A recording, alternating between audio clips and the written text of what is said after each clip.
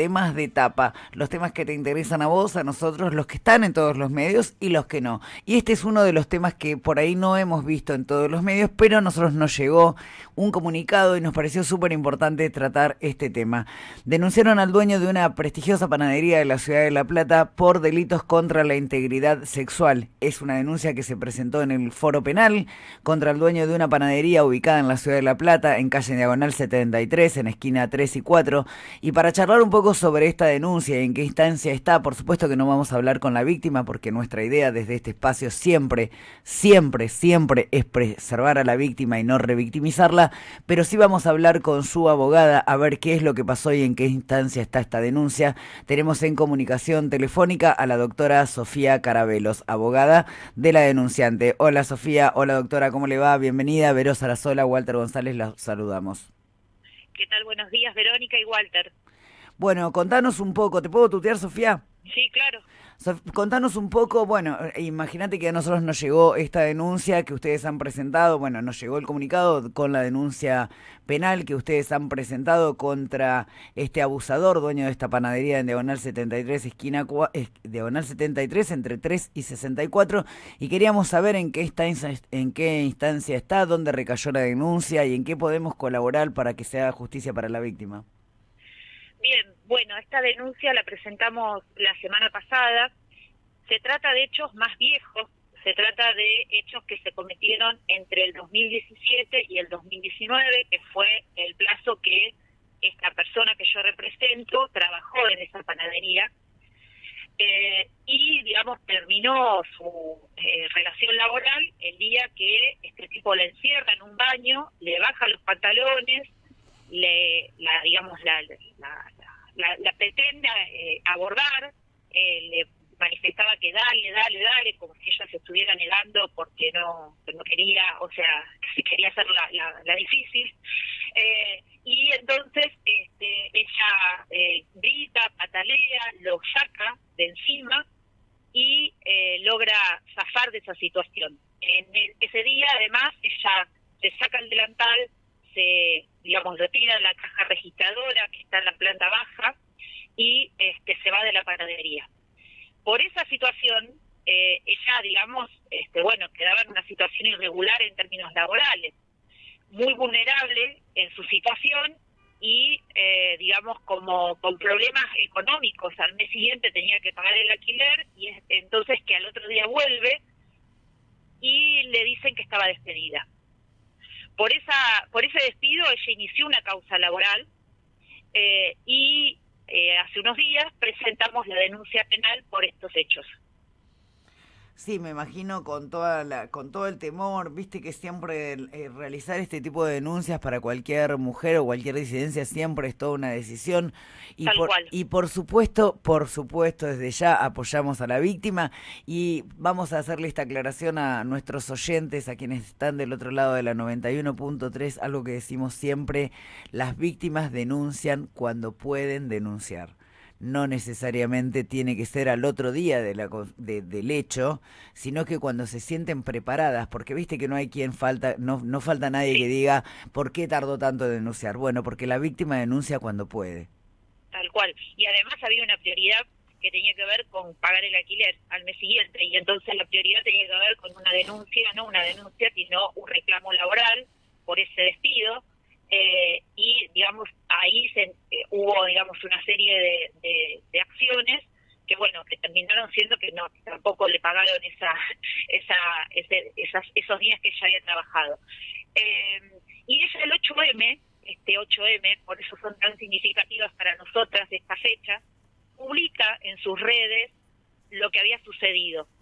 Y tuvo el apoyo de por lo menos 10 mujeres que habían pasado por esa panadería y habían sufrido hechos muy similares eh, y que, digamos, nosotros vamos a tratar de presentar con el debido cuidado en la Fiscalía, la Fiscalía 12, donde recayó esta causa, para que justamente puedan también validar el relato que hace la persona que yo represento, eh, mostrando un poco la práctica eh, y la rutina que tenía estos actos de abuso.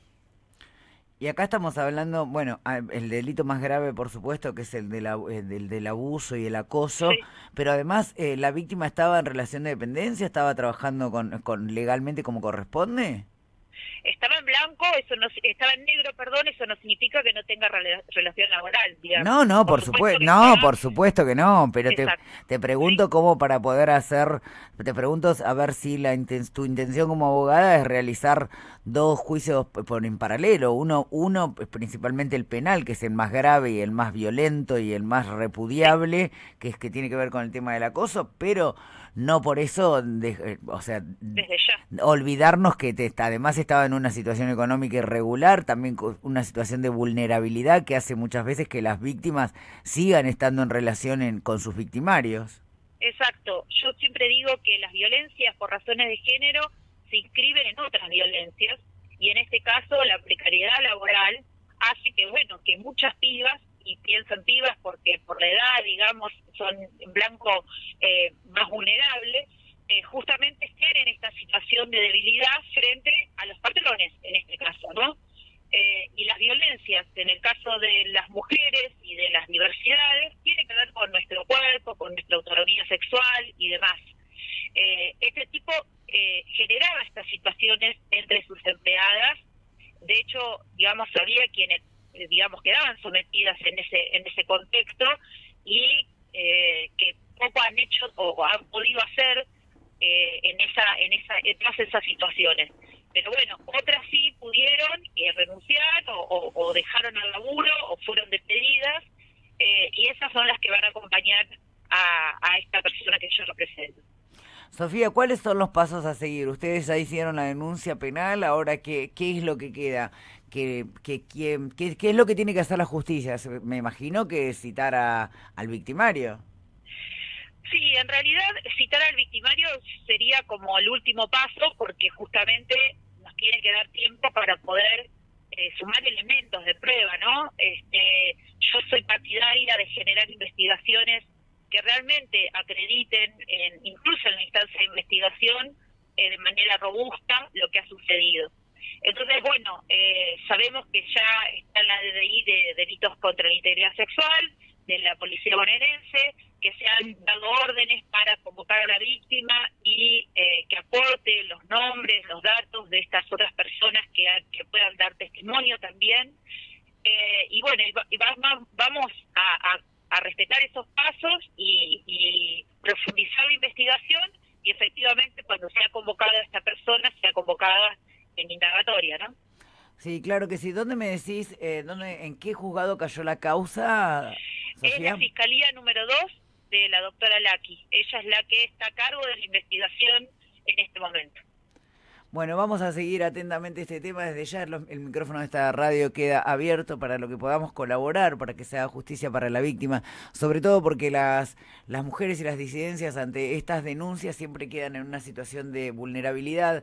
La idea, y siempre, siempre recalcamos desde este espacio, es no revictimizar a la víctima, por eso no la nombramos, esa aclaración se la estoy haciendo a nuestros oyentes, pero sí vamos a estar en contacto contigo, Sofía, para que nos vayas contando los avances de esta causa. Viste que a veces son son, causas que demoran en la justicia y hay veces que es difícil encontrar los elementos de prueba que condenen a este tipo de sujetos violentos y abusadores. Así que desde ya contás con este espacio para que nos vayas manteniendo al tanto de lo que sucede. Sí, comparto con vos, digamos, es imprescindible esta tarea que ustedes hacen Verónica y Walter de este, dar publicidad a estas, a estas situaciones con los cuidados que vos mencionas porque justamente lo que nos hacen es ubicarnos en un plano de un poquito más de igualdad en relación al imputado y poder avanzar también con el conocimiento de la comunidad. Por supuesto que sí, por supuesto que sí. Vamos a reiterar, es una denuncia que realizó una trabajadora ante la Fiscalía número 12 de Betina Laki, me decías, ¿no? Efectivamente digo bien, contra un sujeto abusador, violento, dueño de la panadería de ubicada en Diagonal 73 entre 3 y 4. Voy a decir la dirección porque esta es una denuncia penal, no es que es una denuncia mediática. Nosotros también tratamos, de, tratamos de tener mucho cuidado con eso. Nosotros siempre vamos a recalcar y estar detrás de cualquier tipo de denuncia y después en todo caso será el imputado el que tendrá que presentar las pruebas. La víctima siempre es víctima, siempre le creemos a la víctima porque en este caso atravesar toda la situación que viene para esta trabajadora detrás de efectuar una denuncia ya es em, dolorosísima. Me imagino revivir encima toda esa situación. para, para robustecer lo que vos estás diciendo, pero no sabes cómo lloraba la piba cuando presentamos la denuncia y el miedo que tenía porque porque claro él es un poderoso para desde su mirada por, eso, digamos, estamos atrás tratando de que ella entienda la, la, legitimidad que tiene la verdad y cuán poderosa puede ser eso, digamos, en esta en este tiempo.